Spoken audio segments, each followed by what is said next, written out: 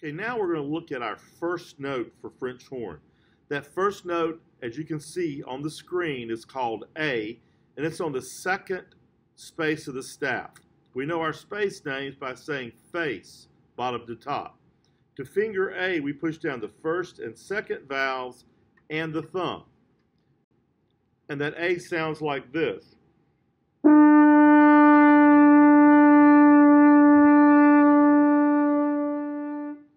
Try playing that with me. Ready? And.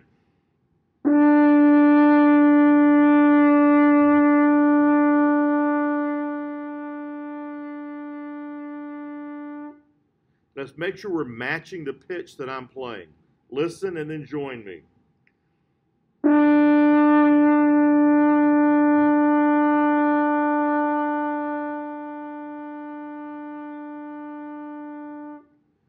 Let's try that one more time. Listen and join.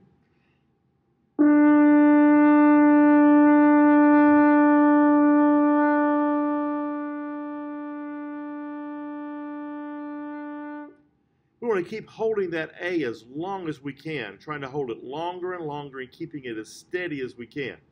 Our right hand, we're going to shape like the Queen's wave, and it goes right inside the bell and pushes against the back. We don't want to close the hole up. We can use that to support the horn, and it helps in tuning. Now I'm going to start a metronome. We're going to play that with the metronome. I'll play for four counts, and then you play for four counts. So here we go. One, and Ready? Me.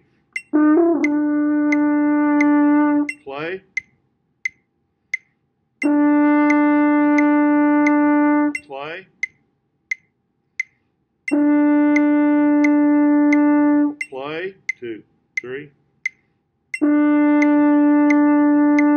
Play.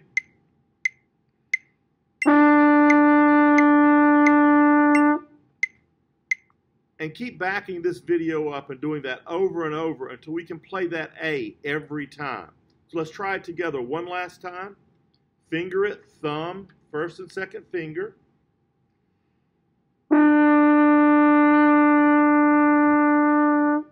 With me now. Ready? Here we go. Breathe.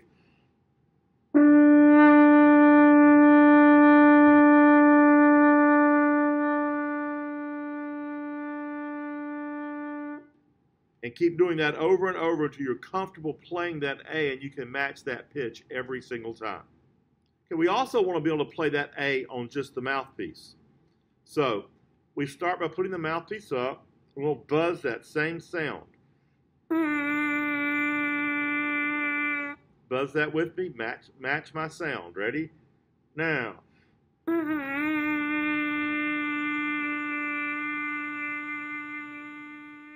Try that again. Buzz with me. Ready? Buzz.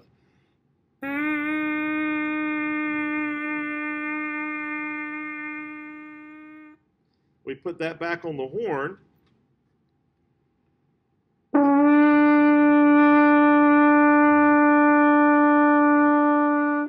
That with me. Play A.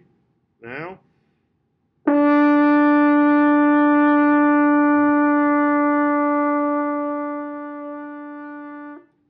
Okay, keep backing this video up and doing this until you can match me on the mouthpiece as well as on the instrument.